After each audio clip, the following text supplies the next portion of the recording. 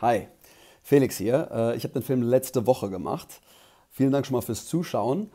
Ähm, besonders gut hat euch der Kunstteil am Schluss gefallen, also dieses Tanzen mit den äh, Roboter-Exoskeletten.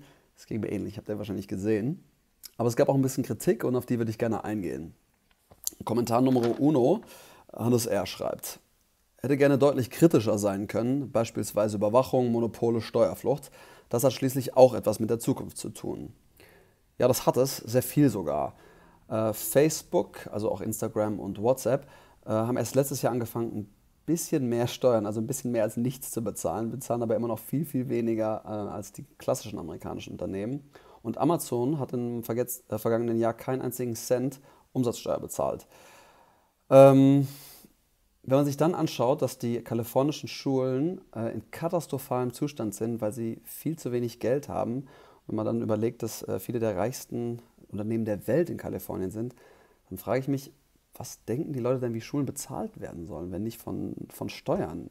Ich habe dann äh, mit einigen amerikanischen Unternehmern gesprochen, die ihre Kinder dann auf ähm, Privatschulen schicken, weil sie sagen, die öffentlichen Schulen ähm, sind einfach nicht gut genug. Ähm, das hat mir nochmal gezeigt, auf was für wackeligen Beinen der amerikanische Traum, also dass jeder die gleichen Chancen hat, reich äh, und erfolgreich zu werden, auf was für wackeligen Beinen das steht.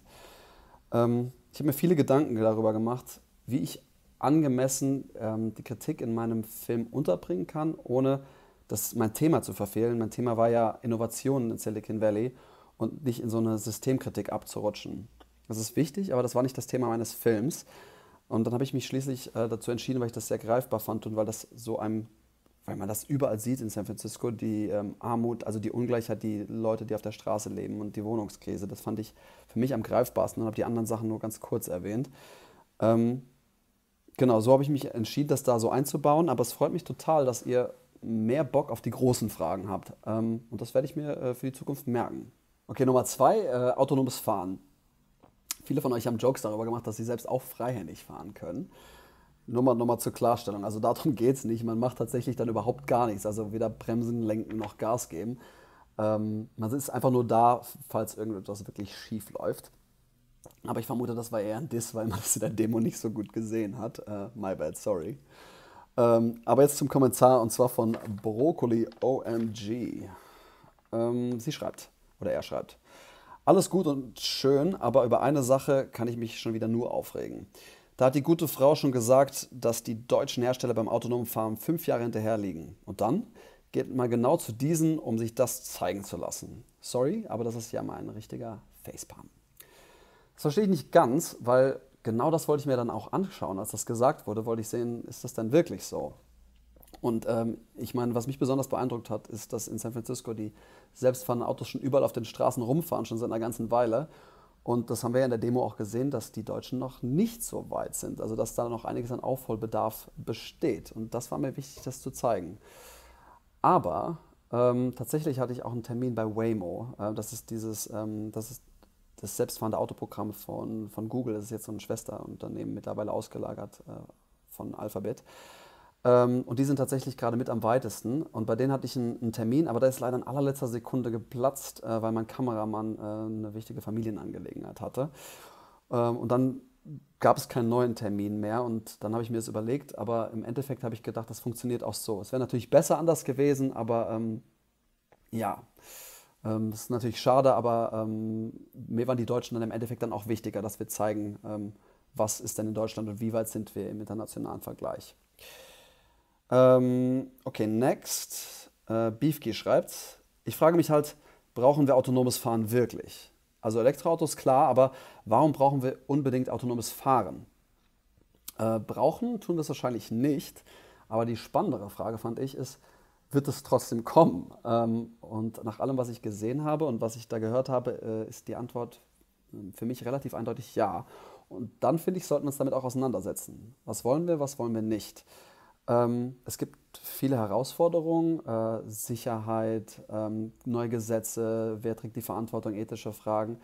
Aber ich glaube, dass tatsächlich auch sehr viel Potenzial darin steckt und auch vielleicht ähm, positive Sachen, die wir, an die man vielleicht nicht direkt denkt. Also klar, diese Zeitersparnis und, und so weiter und so fort, das wissen wir alle, aber Wenn man sich jetzt unsere Städte anguckt, die sind so viel Platz in Städten wird von Parkplätzen eingenommen, von parkenden Autos, die nur rumstehen, die den größten Teil der Zeit überhaupt gar nichts machen und einfach nur Plätze äh, blockieren, wo, äh, wo zum Beispiel Fahrräder, Fahrradwege sein könnten oder eine bessere Infrastruktur für den öffentlichen Nahverkehr. Und wenn Autos selbst fahren können, dann können sie auch selbst wieder wegfahren, selbst nach Hause fahren. Dann bräuchten wir auf jeden Fall viel weniger Parkplätze in den Innenstädten. Und ähm, das fände ich zum Beispiel ziemlich cool. Ich glaube, da gibt es sehr viel und wenn wir uns da wirklich ähm, reinfuchsen oder wenn sich da reingefuchst wird, dann kann das wirklich sehr viele Vorteile haben. Aber natürlich, ähm, die negativen Aspekte dürfen nicht unter außer Acht gelassen werden und große Herausforderungen kommen da auch auf uns zu. Und jetzt der letzte Kommentar, der kommt von äh, Josh. Er schreibt, genau davor habe ich Angst, dass die Welt so wird, wie sie schon in San Francisco ist. Eine kleine Elite, die verblendet und asozial immer neueren Trends und immer größer werdendem Wachstum machiavellistisch hinterhereifert, wie Zombies und Armut oder Obdachlosigkeit einfach als Kollateralschaden hingenommen und, es, und mit es ist schwierig abgestempelt wird. Lieber Josh, da sprichst du mir tatsächlich ein bisschen aus der Seele. Ähm, ich habe tatsächlich häufig in San Francisco, hat es sich mehr sozial dystopisch als tech-paradiesisch angefühlt. Und ja, natürlich müssen wir darüber sprechen. Ähm, die Armen werden häufig mit dem Versprechen abgefrühstückt, dass sie morgen auch wieder reich sein können und die ähm, äh, Wohlhabenden ähm, sind sich keiner Verantwortung bewusst, weil sie sagen, sie haben doch das verdient. Also sie haben doch viel dafür gearbeitet, dass sie ihren Wohlstand haben. Ähm, ich habe mit vielen Leuten tatsächlich auch darüber gesprochen, ähm, aber da habe ich auch wieder, immer wieder gemerkt, dass die Amerikaner, auch die Kalifornier, recht patriotisch sind und nicht wirklich Bock haben, ähm, mit einem Ausländer zu diskutieren, ob ihr System gerecht oder ungerecht ist. Müssen sie auch eigentlich nicht. Natürlich, wir sind aber, aber natürlich geht das uns auch an, weil wir sind zusammen in der Weltwirtschaft und natürlich, was in Amerika passiert, das hat auch Einfluss auf uns. Ähm, aber nochmal, mein Film sollte, sollte kein Expertenfilm sein, der in die Tiefe geht äh, bei diesen verschiedenen Sachen, sondern ich wollte eher äh, kurzen Überblick über viele verschiedene Themen geben für Leute, die sich noch nicht so damit auskennen, was in Silicon Valley passiert, äh, was es für Innovationen gibt. Und die Kritik wollte ich, habe ich halt eben dann nur relativ kurz angesprochen. Ähm, vielmehr hatte ich das Gefühl, konnte ich in meinem Film in den 20 Minuten nicht leisten. Oder ähm, ja, weil das einfach das primäre Thema war Innovationen in Silicon Valley. Aber nochmal, es freut mich wirklich, dass ihr Bock auf die großen Fragen habt. Und das werde ich mir äh, in Zukunft merken. Und äh, ja, Vielen Dank fürs Zuschauen. Das war es auch schon wieder von mir und äh, hat Spaß gemacht. Danke. Ciao.